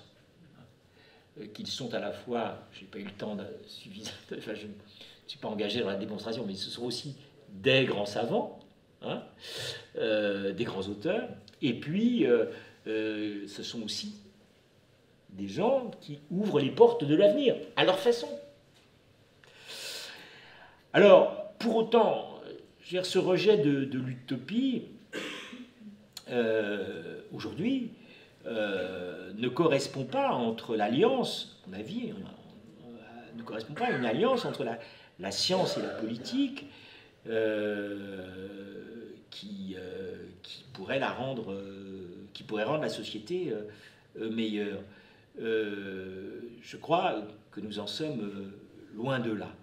Et c'est la raison pour laquelle le socialisme, comme utopie et comme science, a du mal à retrouver son chemin, puisqu'elle a été les deux, parce que le socialisme a été les deux, ou aspirait à être les deux. Et que les règles euh, que j'énonçais contemporaines de la politique ne lui permettent pas de jouer sur ce double clavier. Euh, alors, euh, il est clair qu'il euh, faut évidemment comprendre deux choses. C'est que, et que, qui sont presque des leçons de l'histoire, donc je crois qu'il n'y ait jamais de leçons de l'histoire pour les, pour les hommes, mais que, premièrement, l'utopie dépourvue de science conduit au pire modèle aux pires catastrophes. Pourquoi? Parce que euh, une utopie dépourvue de science tente de s'imposer par la force. Hein. Je rêve d'un régime euh, dans l'indifférence totale des règles qui président à une société, car il y a toujours des règles qui président à une société. Euh, donc si je veux appliquer ce modèle, je, force. Et effectivement, hein, les libéraux, de ce point de vue-là, ont raison en disant vous allez imposer euh, des modèles qui ne peuvent pas fonctionner. Bon, Donc l'utopie sans science, c'est la catastrophe. Mais à l'inverse, et je finirai là-dessus, la science sans l'utopie, c'est le conservatisme. Évidemment. La science, euh, euh, c'est, euh, sans l'utopie, c'est le conservatisme, voire les pensées les plus réactionnaires. S'il suffit d'appliquer des règles qui existent, qui sont intangibles, comme le disait Madame Thatcher, il n'y a pas d'alternative. C'est ça ou la catastrophe. Bah, on applique ça. Donc vous voyez ce clavier, science et utopie. Euh, l'un sans l'autre ne peut fonctionner. Et euh, je crois que cela peut nous faire réfléchir à ce que, si le socialisme voulait euh, entrer dans ce nouvel âge, qu'il réfléchisse à cette double qualité. Voilà. Merci.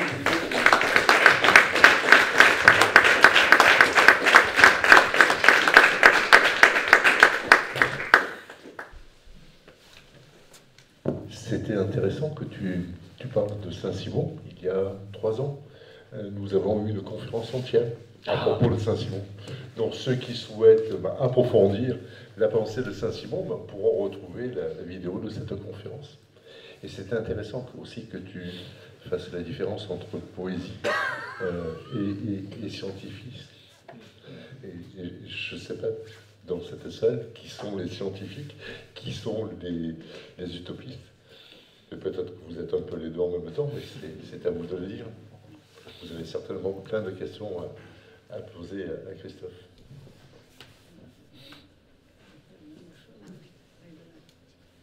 Est-ce que vous pourriez dire aujourd'hui que l'écologie qui vise à euh, allier euh, l'activité humaine et la planète, c'est une utopie?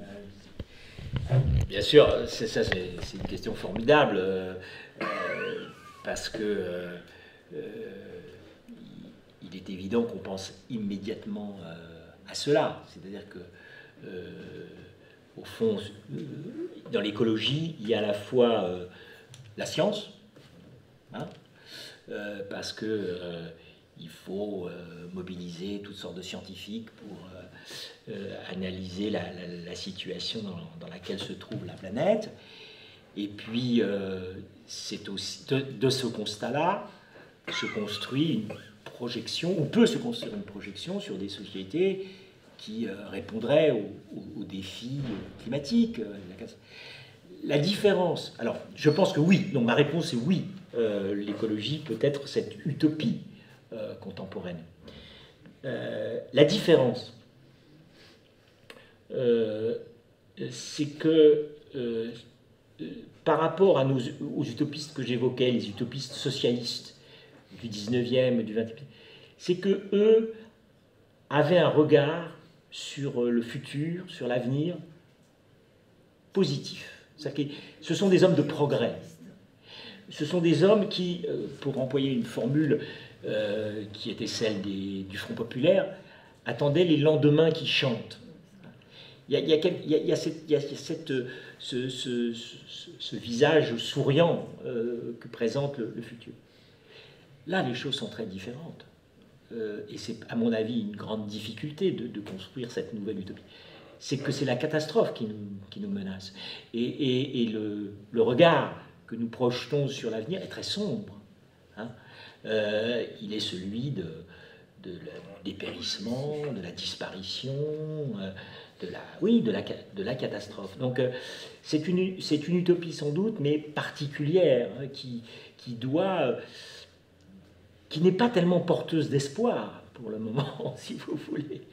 C'est-à-dire qu'elle est... Euh, euh, euh, et je pense que c'est d'ailleurs une vraie difficulté pour la, classe politique écologiste ou les écologistes de bien se situer. C'est-à-dire si, vous dites vous allez être tous morts si vous ne faites pas ça, c'est pas très stimulant.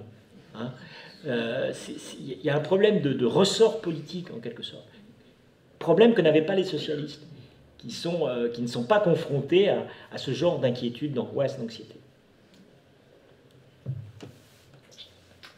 Oui, euh, je voulais vous demander si, par rapport à la question qui est, qui est, la vôtre, est-ce que l'histoire n'aurait pas tranché finalement définitivement cette question? Est-ce que les régimes qui se sont réclamés du marxisme finalement n'ont pas échoué? Ah ben, ça c'est certain. Je veux dire que c'est une chose euh, qu'on ne peut pas euh, qu'on ne peut pas contester. C'est-à-dire que euh, tous les régimes dits du socialisme réel ont conduit à des catastrophes humaines. alors, une fois qu'on a dit ça, une fois qu'on a dit ça,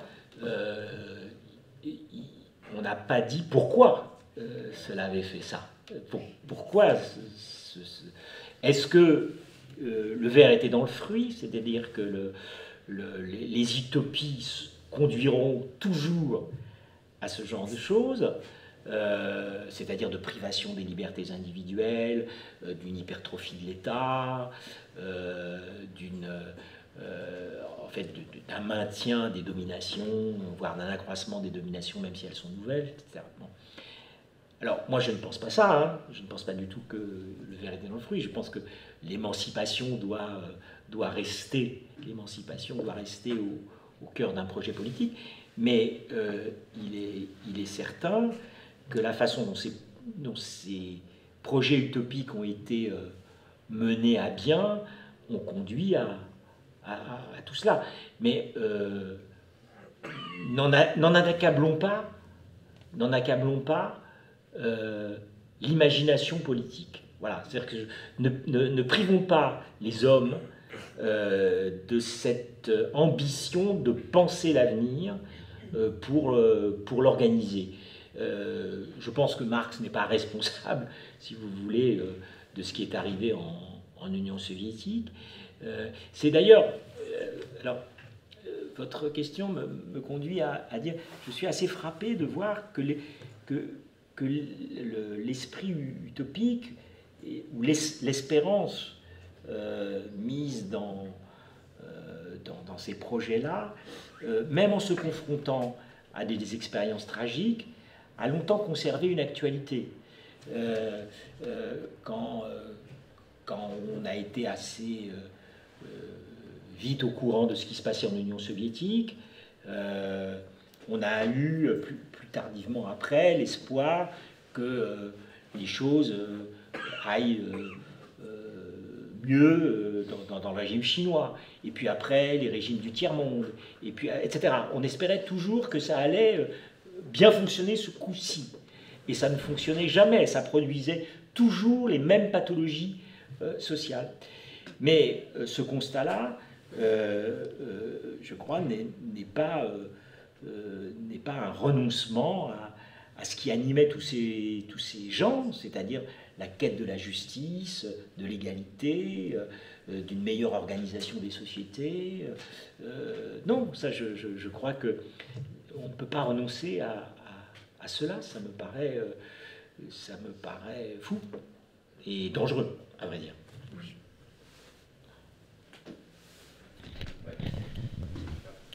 Pose la question pour la question aussi pour le capitalisme, par exemple? Pourquoi on ne se poserait pas aussi la question de est-ce que le capitalisme n'est pas aussi une utopie, dans le sens où on a fait croire que ça reposait sur une base scientifique, alors que pas du tout, avec certains mythes, comme par exemple la main invisible du marché qui fonctionne, etc. On ne se pose pas la question sur ça. Et d'ailleurs, si on va chercher du côté des sciences, notamment les sciences du vivant, où on voit que c'est plutôt dans l'évolution, c'est plutôt l'entraide euh, qui fonctionne entre les, espèces plutôt que, plutôt que la, si on va chercher du côté de l'anthropologie, on voit que les sociétés ont plutôt tendance à s'organiser de façon euh, égalitaire, euh, plutôt sur des principes socialistes. Et on nous a fait croire que de façon naturelle, le capitalisme est reposé sur des bases scientifiques, alors que pas du tout. Donc finalement, c'est vraiment aussi une utopie est peut-être en train de se transformer en dystopie actuellement, en sortant aux limites de la planète, à l'explosion des inégalités. Euh, voilà, je voulais savoir ce que vous ah, je suis entièrement d'accord euh, avec vous. Si on prend euh, les, grands auteurs qui composent ce qu'on appelle un, peu mécaniquement le néolibéralisme, bon, je pense, prenons l'œuvre de Hayek, par exemple, le grand théoricien de cette. C'est effectivement, c'est une utopie. C'est une utopie. C'est-à-dire que pour lui, euh, euh, c'est ce que vous évoquiez, cette fameuse formule de la, la main invisible, effectivement, tout va s'harmoniser. D'une certaine façon, on retrouve le mot au fond, c'est assez terrifiant l'harmonisation. Tout va s'harmoniser euh, naturellement par le jeu du marché, l'utopie du marché, effectivement. mais, vous avez raison aussi, dissimuler derrière une mise au jour de prétendues lois, prétendument, de prétendues lois de l'économie, qui sont souvent, au fond, des éléments idéologiques, purement idéologiques. Euh, pas toujours, mais quand même. Hein, euh, alors, je vais prendre un exemple qui a fait, qui, a été au cœur de l'actualité, par exemple, et qui évidemment est une aberration, le ruissellement. On vous a expliqué la loi du ruissellement. Ce n'est pas une loi, euh, c'est un fantasme, c'est une, une lubie, c'est un, c'est un élément, un argument politique mais ça n'a rien à voir. Oui, oui, moi je suis euh, tout à fait d'accord. La seule différence, c'est qu'en termes de, culture politique, si vous voulez, euh, je pense que le, euh, les, théoriciens du, capitalisme, ou les théoriciens libéraux en général, quoique le libéralisme c'est compliqué sur la longue durée, parce que bon, mais en gros, on va dire ça, n'ont pas l'idée d'inventer euh, des, enfin de, mettre en place des, des systèmes, évidemment puisqu'ils sont en gros euh, satisfaits par l'existant, des, systèmes clés en main, si vous voulez. C'est-à-dire qu'il n'y a pas le, dire, le côté maison phénix du système social. Euh, ça reste, c'est plutôt euh, un, regard sur le monde social tel qu'il est et qu'il faut éventuellement améliorer euh, dans, le sens de leurs intérêts, effectivement, dans les, intérêts du marché, comme ils disent. Mais euh, je pense que c'est ça la différence avec le socialisme. Ce qui fait que l'utopie est moins, visible que, chez les socialistes. Moi, je, pensais que le socialisme était une utopie jusqu'au moment où j'ai regardé un documentaire qui s'appelle La planète des fourmis sur, sur YouTube. Alors, c'est un, un, zoologue euh, écossais. Il a reproduit en fait, une fourmilière euh, grandeur réelle. Euh, il y avait à peu près 2 millions d'individus dans la fourmilière et il a truffé de centaines de caméras. Il a observé pendant des mois et des mois avec toute une équipe. Et en fait, il se rend compte, d'une part, qu'il y a tout un tas de métiers, ça c'est bien connu, mais d'autre part, il étudie la collaboration et il se rend compte que dans la fourmilière, il n'y a pas de commandement. C'est-à-dire qu'il y a une reine qui est là pour pondre, mais elle ne fait rien d'autre. Donc, si vous regardez le, système en fait de, ces fourmis, c'est quelque part un socialisme, une anarchie. Donc, euh, dans, à l'état naturel, ça existe, le socialisme, l'anarchie. Pourtant, c'est des tout petits cerveaux comme ça. Pourquoi nous, on ne serait pas capable de faire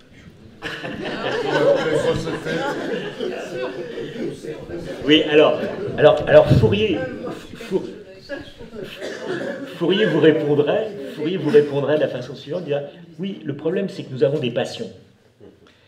Alors que les fourmis, enfin je ne sais pas, je ne suis pas du tout spécialiste en fourmis, hein, mais je, suppose que les, que les, que les fourmis n'ont pas de passion, ou des passions très, très maîtrisées, on va dire. Euh, et, justement, euh, pour, euh, pour, Fourier, c'est un des, des, raisons du, de, la question du désordre de la civilisation. C'est que les, les passions créent du désordre dans la, dans la société. Donc, il faut canaliser les passions et, et mettre de l'ordre en, combinant les passions entre elles. et c'est ce qui permettra, par exemple, au travail de devenir attrayant. Hein, le, pourquoi les gens n'ont pas envie de travailler? Euh, Parce qu'ils font un travail euh, qui les ennuie. Hein. Donc, euh, il faut réfléchir, parce que les gens ont tellement des passions différentes qu'on on trouvera toujours quelqu'un qui aimera, je ne sais pas moi, être menuisier, un autre qui aimera être, en fonction de ses passions, être médecin. Et, et c'est comme ça que ça fonctionnera. Donc, à la fin, c'est la fourmilière, ça c'est vrai. C'est-à-dire que tout le monde est bien à sa place et fait en fonction de ses passions. Mais euh, là, pour le coup, peut-être que Fourier est vraiment très utopiste. c'est-à-dire la canalisation des passions de façon. Alors, c'est très c'était pour ça que des, esprits très mathématiques. Hein, euh, euh, ils faisaient des séries, ils les combinaient. Il y a des tableaux, c'est illisible d'ailleurs quand on lit ces gens-là. Euh, il y a des tableaux, machin, comme ça. Donc à, la fin, c'est les fourmis, mais je pense que tout gouvernant rêve d'une société de fourmis, évidemment, parce que c'est plus facile. Comme vous dites, la reine, elle n'a plus rien à faire elle n'a plus qu'à pondre en quelque sorte.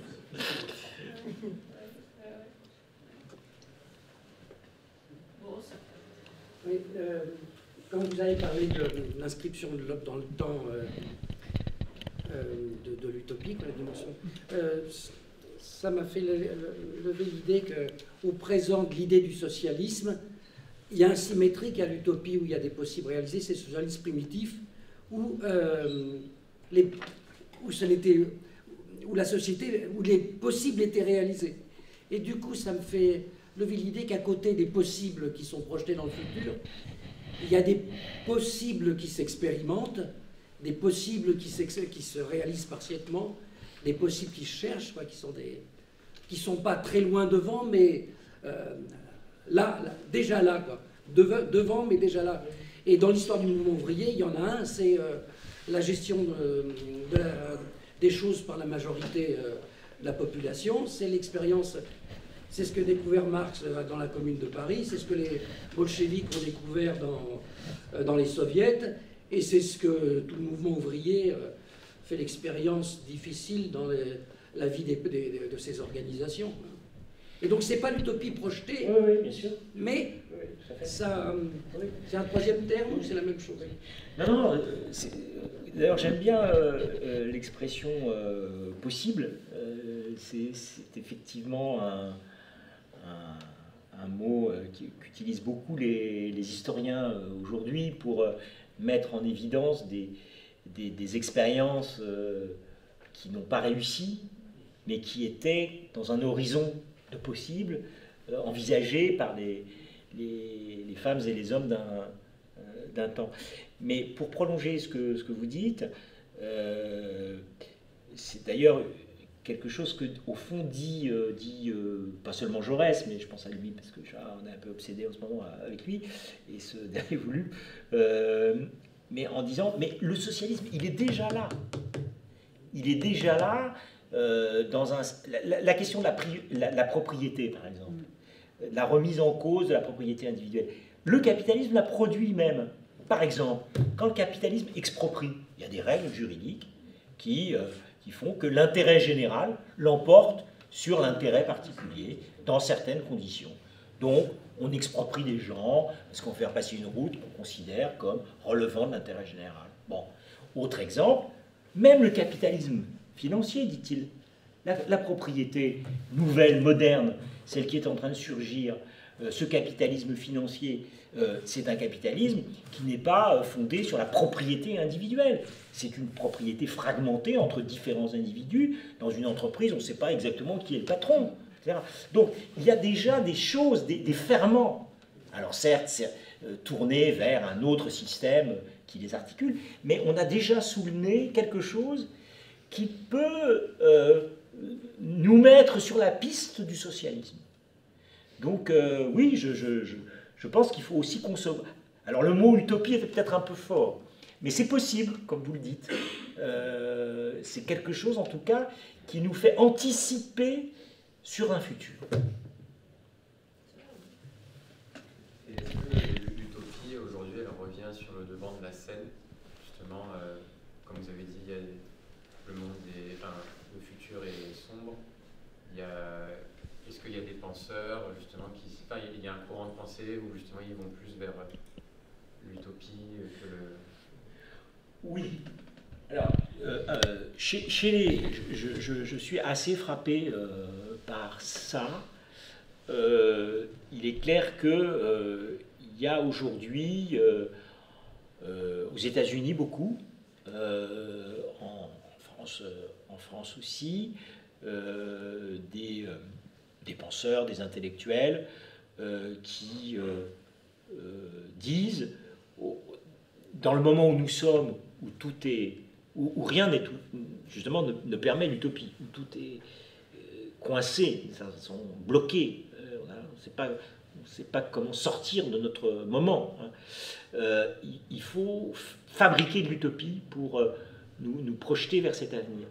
Euh, on, voit ça beaucoup dans, dans des courants un peu libertaires, anarchistes. Vous voyez, ce, que, ce qui, ce qui s'exprime, ce qui s'exprime par exemple, qu'est-ce que c'est qu'une ZAD aujourd'hui? Une zone à, défendre. Bon. alors c'est effectivement un moyen de lutte euh, contre des projets euh, considérés comme dangereux, néfastes. Mais c'est aussi une expérience euh, sociale, politique, je pense aussi affective d'une certaine façon. C'est, oserais-je le dire, c'est au fond du, du, saint-simonisme. Enfin, non, Vous voyez ce que je veux dire en tout cas. C'est-à-dire qu'on a, on a l'impression que ça ressemble un peu à ces petites expériences utopiques du début de la première moitié du XXe siècle, où les gens expérimentaient d'autres façons de, vivre. Donc à ce niveau-là, on est à un niveau plutôt politique, micro évidemment, ce sont des toutes petites communautés, mais euh, euh, qui expérimentent. Euh, au Mexique, euh, le, Chiapas, le, ce qui se passe dans la communauté du Chiapas, autour du, euh, du, commandant Marcos, euh, c'est une société utopique, véritablement, un truc d'ailleurs qui ne ressemble à rien, on sait pas. D'ailleurs, moi, je, serais curieux de voir comment, comment ça fonctionne, comment, qui dirige, comment on dirige. Bon. Et puis, dans l'ordre intellectuel, oui, euh, il y a tout un courant d'anthropologie libertaire, par exemple, hein, euh, qui, euh, qui est assez puissant et qui remet l'utopie au, goût du jour. D'une certaine façon, on est, on est moins aujourd'hui, à mon avis, dans le triomphe de Marx que de Fourier. D'ailleurs, entre parenthèses, Fourier avait fait son grand retour, alors que c'est un penseur qui n'avait pas eu beaucoup de succès, il faut bien le dire, euh, dans la deuxième moitié du XIXe siècle. Mais en 68, on a retrouvé l'utopie de Fourier comme une utopie émancipatrice, libératrice, notamment sur toutes les questions qui avaient été mises euh, euh, sur l'agenda politique en 68 autour de, de, la, libération sexuelle, des droits des minorités sexuelles, des femmes, toutes sortes de, choses. Donc, oui, je, pense que. Alors, 68, c'est déjà très, loin, mais euh, euh, il me semble qu'aujourd'hui, c'est plutôt le, triomphe de Fourier. Enfin, je pousse, je pousse le bouchon trop loin, hein. mais pas, pas, si loin que ça. C'est plutôt, euh, c'est plutôt Fourier qui gagne contre Marx, si j'ose dire.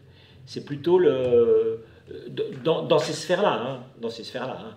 Après, malheureusement, enfin, ce n'est pas dire des méchancetés, mais je ne crois pas que la gauche politique euh, institutionnelle soit très emprise sur ce type de questionnement qui nous réunit euh, ce soir. Je, veux dire, euh, je pense que elle n'est pas, elle n'est pas sur cette longueur d'onde-là.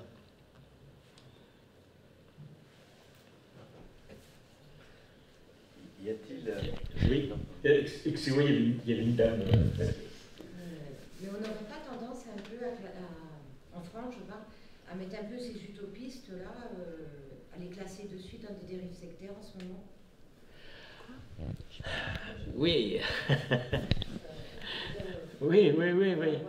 Alors, oui. Avant d'être embêté décédé, mais je pense peut-être à lui toucher, enfin voilà, qui est un peu dans cette lignée ou, ou d'autres, Casas Novas, enfin, et de suite, à partir du moment où ils apportent de l'espoir, ah ben, ils sont d'extrême droite, ils sont gourous, ils sont tout ça.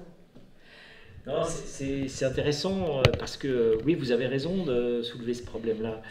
Euh, parce que les, les, utopies de la première moitié du XXe siècle euh, ont souvent eu ces dérives sectaires. je, reviens à Saint-Simon, excusez-moi. Bon, après la mort de Saint-Simon en 1825, donc les Saint-Simoniens sont retrouvés euh, sans leur remettre à penser. et ils, ont fini par se constituer en église. C'était le, terme. La, communauté des Saint-Simoniens formait une église avec un pape, d'ailleurs, enfin deux, il y a même eu deux papes à un moment, puis évidemment ils se sont bouffés le nez, hein, classique, hein. et le, le pape euh, qui est resté, le père, ce qu'on appelait, le père enfantin, était, euh, était un, oui, un, chef de secte et, assez, et assez, euh, assez, troublant. Mais ce, qui, est, assez curieux, c'est que cette, cette postérité du, du, du premier Saint-Simonisme, celui de Saint-Simon, alors il y a la dérive sectaire, c'est vrai, l'enfermement, le et puis il y a aussi une branche euh, très réaliste, très scientifique, euh, et qui va d'ailleurs euh, servir Napoléon III. Michel Chevalier, dont je vous parlais tout à l'heure, avec son système de la Méditerranée, hein, va être une des, va être, pardon, une, des, têtes pensantes du, du, Second Empire. Mais alors, la question, c'est de savoir, est-ce que qu'est-ce qui qu'est-ce que contiennent ces façons de penser, dans leur contenu, dans leur forme aussi, qui conduit à ces dérives-là Est-ce que. Euh, au fond, c'est la question aussi de la croyance, hein, parce que dans. Euh, je, évoquais tout à l'heure la, la, question religieuse. Dans l'utopie, il y a toujours de la croyance un peu, quand même. Il y a une espèce de, de pari, euh, de croyance sur l'avenir. Et, on pourrait aller plus loin, même euh, cette projection sur l'avenir, sur les temps meilleurs, il y a, il y a de l'ordre du millénarisme aussi là-dedans. Donc on, voit bien que, que cette forme-là d'imagination politique peut, dans certaines circonstances, alimenter ce que vous... Ah bon, pardon, excusez-moi. Non, non, c'est que je trouve que nos dirigeants ont tendance de suite à nous dire c'est des dérives ah oui, oui. Voilà, c'est ah, ça que je voulais dire, pardon. Ah oui, oui, d'accord. D'accord. Oui, alors. Peut-être ça allait, ça serait un débat, mais je veux dire, de suite, on a ce. Ah oui, oui, je suis d'accord. On a nos dirigeants qui disent attention, c'est un nouveau, c'est c'est dans tout ce qui peut éventuellement amener des soirs ou des choses comme ça. Oui. Non, non, c'est vrai. Oui, mais ça, dès le départ, vous voyez, c'est-à-dire que dès le départ, euh, les, Saint-Simoniens, pour revenir à leur cas, mais c'était vrai de, tous les utopistes. Et d'ailleurs, même les socialistes en général, euh, parce que c'est vrai qu'ils se disputent en l'histoire longue du socialisme, c'est quand même une histoire permanente de division, de, de bon, etc. Euh, les adversaires, évidemment, pointent justement l'esprit sectaire, l'esprit religieux, l'esprit, enfin, etc. Oui, je suis absolument d'accord avec vous. C'est une longue histoire. Excusez-moi, je... vous en prie. Euh, j'aimerais vous poser une question sur euh, la, euh, la, vie, la vie, l'usure, la fatigue, voire la mort des idées. Parce que vous avez donné une date de naissance au socialisme.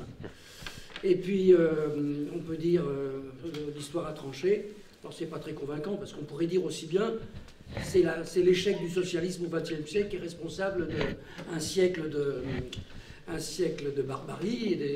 Donc, ça, n'est pas la cause de la mort, en tout cas, de cette idée. Mais est-ce qu'il y a beaucoup euh, d'idées ou de concepts dont on peut dire qu'ils sont nés, ils sont morts? Euh, Aujourd'hui, euh, le socialisme, c'est simplement une fatigue, une lassitude. Une mort. Enfin, je suis sûr que non. Votre, euh, votre, question, il y, a, un très bel article du 19e siècle de Théodore Jouffroy qui s'intitule Comment les dogmes finissent euh, et qui pose exactement la question que, vous, posez. Euh, donc on s'est posé cette question très, vite, dans ce grand siècle bouillonnant qui est le 19e siècle n'était pas stupide, comme disait stupidement euh, Léon Daudet, au contraire. Euh, euh, alors, pour ce qui concerne le socialisme, est-ce que est-ce qu'il entre dans la catégorie de, des, idées à enterrer je, me garderai bien Bon, j'ai ma petite idée, mais enfin bon, je, me, je, garderai bien de, répondre en historien à cela. D'abord, il faut peut-être pas avoir le nez ni sur la France ni sur l'Europe pour répondre à cette question-là, puisque le socialisme, c'est un truc incroyable quand même, cette petite idée née en Europe, et même dans quelques pays européens, qui a été quand même le, grand concurrent, la grande concurrence euh, du christianisme, quand même. Il n'y a, a, rien, rien d'équivalent euh, au socialisme comme invention, puis quand même longtemps après la naissance du christianisme. Donc, euh, et si je fais ce parallèle, c'est un peu à dessin. Moi, je, je, pense donc qu'il serait très difficile de, de trancher de répondre à votre question en disant voilà, c'est fini, c'est terminé. Qui a comme vous. Comme... Non, non, non, non, non, non, j'ai bien compris. J'ai bien compris. Euh, mais euh, qui est, comme vous le dites fort bien, une fatigue, un essoufflement, tout ça. tout ça sans doute, mais on en a connu d'autres dans l'histoire du, socialisme. Et encore une fois, quittons, quittons notre espace national pour essayer de comprendre ce qui se joue voilà, c'est comme ça que je, vous répondrai euh, avec beaucoup de prudence. Et on a des exemples d'idées mortes. Euh, L'Immaculée Conception, c'est frais comme un gardon. ah, même des choses qui. Ouais. Euh, des vraies idées qui sont mortes. Des, vraies idées qui sont mortes, bah, si elles sont mortes, on les a, elles sont mortes, donc on les a plus dans la tête. mais bon, l'historien est là pour animer les morts, comme vous savez, c'est son boulot, hein, et commencer par les idées. Euh, franchement, ça ne me vient pas à l'esprit comme ça. Euh, si, évidemment, il y a toutes sortes de, je reviens religieux, euh, toutes sortes de, de, sectes chrétiennes des premiers siècles du christianisme, je ne sais pas moi, l'arianisme, le... Enfin, bon, pas vous faire les défilés, toutes ces sectes monofusistes des, des, premiers siècles du christianisme qui ont euh, disparu, euh, à ma connaissance en tout cas, euh, mais d'idées sur la période récente, disons, sur les deux derniers siècles, d'idées modernes liées à la démocratie, a priori, je, n'en vois pas.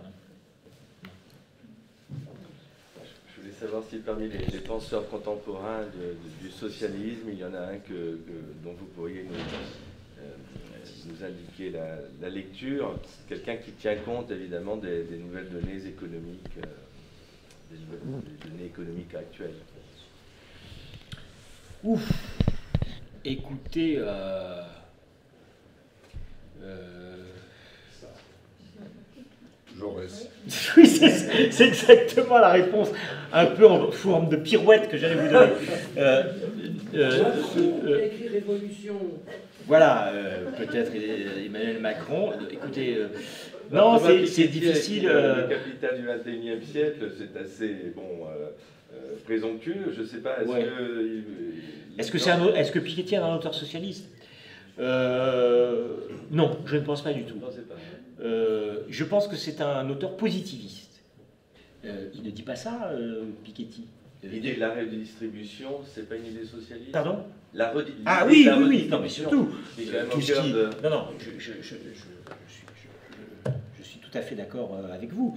Euh, surtout la redistribution, la mise en avant de, de, euh, de l'analyse des inégalités, tout ça relève effectivement d'un répertoire socialiste. Mais est-ce que ça en fait un socialiste? Je ne crois pas. et je pense qu'il est trop. Enfin, puisqu'on parle de lui, euh, je pense que Piketty, c'est d'abord un esprit, je disais positiviste, et si j'étais un peu plus dur, je dirais scientiste. C'est-à-dire que je pense que c'est un savant qui croit à la science et qui n'a pas d'autre horizon que la science. Hein. Je pense que d'ailleurs, il ne s'effaroucherait pas euh, de ce, propos-là.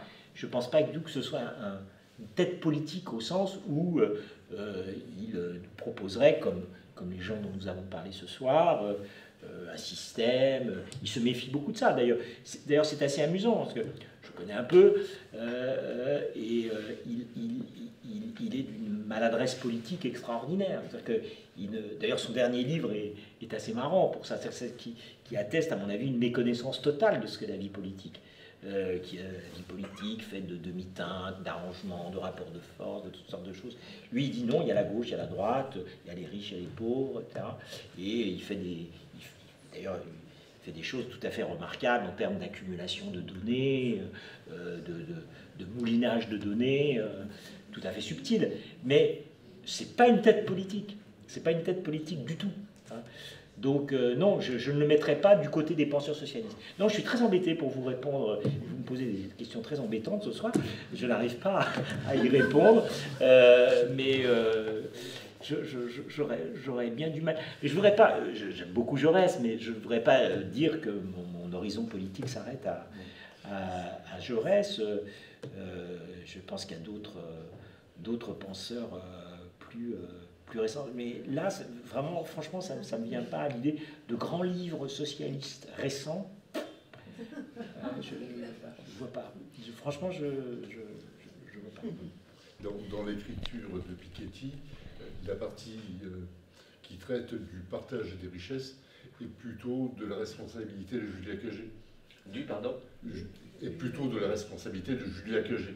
D'accord, oui, oui, qui a, écrit, aussi sur le, prix de la démocratie. Et c'est elle qui a cette vision euh, davantage politique. Euh, d'ailleurs, elle était euh, directrice de campagne de Benoît Hamon. Avec sa, avec sa, sœur Agathe. Donc elle, elle a une vision politique davantage. C'est Agathe, oui. Pardon Oui, c'est sa sœur. Non, non. non, non. Elle était conseillère économique. Oui. C'est Agathe. Vas-y. Oui souvent, euh, quand on parle de socialistes, on dit les social-démocrates. Ah. Qu'est-ce que c'est ah, Comment on peut déterminer ça? C'est une critique ou c'est l'utopie ah, ça, ça m'agace. Euh, bon, alors, euh, je, trouve que. oui, on a, vu surgir depuis une quinzaine d'années le mot social-démocrate en France. Mais ce n'était pas du tout un mot dans le répertoire politique français et surtout pas socialiste. En France, les socialistes sont socialistes. Point. Alors, euh, c'est intéressant de voir pourquoi un mot comme ça surgit dans, le vocabulaire euh, euh, politique. La social-démocratie, historiquement, ça a désigné des partis de nature très différente. En général, la social-démocratie en Europe, c'est quoi? C'est un modèle d'organisation tout à fait particulier qui allie le parti politique et le syndicat. Hein? Exemple, l'Allemagne les socialistes allemands, euh, euh, quand le, Parti social-démocrate allemand euh, est créé en 1875, donc le Parti socialiste, il est très marxiste, mais il s'adosse de plus en plus à une puissante organisation syndicale. Ça, c'est ce qu'on a appelé toujours le modèle social-démocrate. On avait des trucs équivalents dans les pays du Nord, en Scandinavie, d'une certaine façon en Angleterre aussi, même si c'est plutôt le mot travailliste qui est utilisé mais aussi, c'est vrai, en Russie. Hein, euh, Lénine, il était membre du Parti ouvrier social-démocrate russe. En France, on n'a jamais parlé de ça. Ou alors sous forme d'une insulte. Dans les années, euh, dans les années 60, euh, 70, on disait hein, Ah, tu n'es qu'un social-démocrate. Pardon? Sosdem, vous avez raison.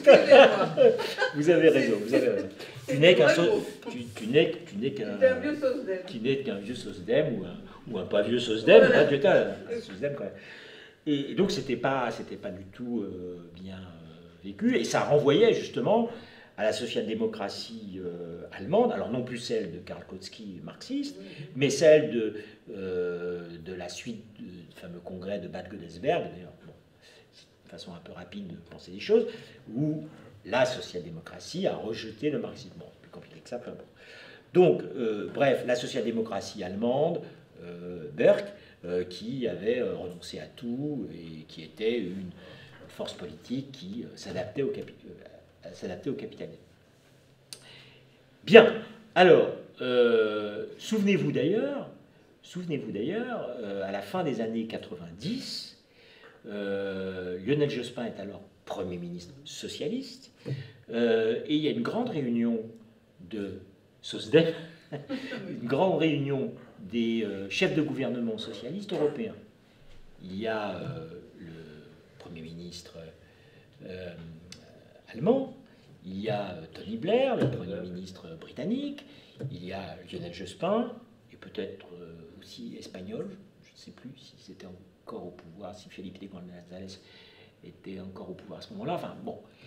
Et il y a une grande dispute entre les sociodémocrates européens, anglais et allemands surtout, qui disent aux socialistes écoutez, arrêtez, euh, euh, venez, vous êtes comme nous. Euh, et Jospin s'est battu justement sur cette ligne-là pour défendre la spécificité du socialisme français en disant qu'il était socialiste, en effet, c'est-à-dire héritier d'une longue histoire, et avec malgré tout l'idée que le socialisme était un moment de l'histoire qui, euh, qui serait une étape nouvelle dans, l'histoire de l'humanité, d'une certaine façon. gardait cette utopie, voilà, cette utopie. Euh, donc il a, il a, tenu bon encore là-dessus. Bon, et puis, pour les années les plus récentes, je crois que comme le socialisme, pour des tas de raisons, pourrait analyser euh, dans une autre conférence, euh, s'est trouvé discrédité, euh, trahi, ou considéré comme abandonné. Enfin, le, socialisme, il faut se dire socialiste aujourd'hui, c'est pas, c'est pas super, quoi. Hein. bon. donc, on a essayé de trouver une voie un peu parallèle, à mon avis, en, en allant chercher un autre mot qui dit qui semble dire la même chose, c'est-à-dire le, social, le social-démocrate est un socialiste raisonnable, modéré, qui, euh, qui réfléchit avant de parler, qui ne veut pas tout casser, qui respecte son adversaire, etc. Voilà. Mais c'est une invention politique, pour, répondant à des besoins politiques.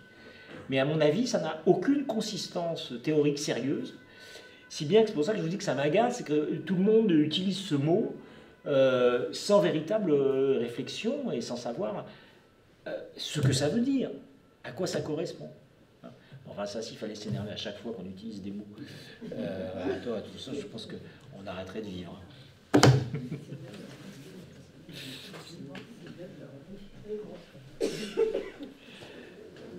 Voilà, je vous ai épuisé, je crois. Merci beaucoup. Régalé, merci beaucoup. Merci à vous.